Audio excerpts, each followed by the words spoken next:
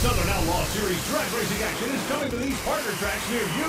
Atmore Dragway, Atmore, Alabama. Evadale Raceway, Evadale, Texas. No Problem Raceway, Belle Belrose, Louisiana. See 470 and 430 Index Southern Outlaw cars slug it out for top prize money. Also Extreme 660 Dragster Mafia blast into the trap at speeds you won't believe.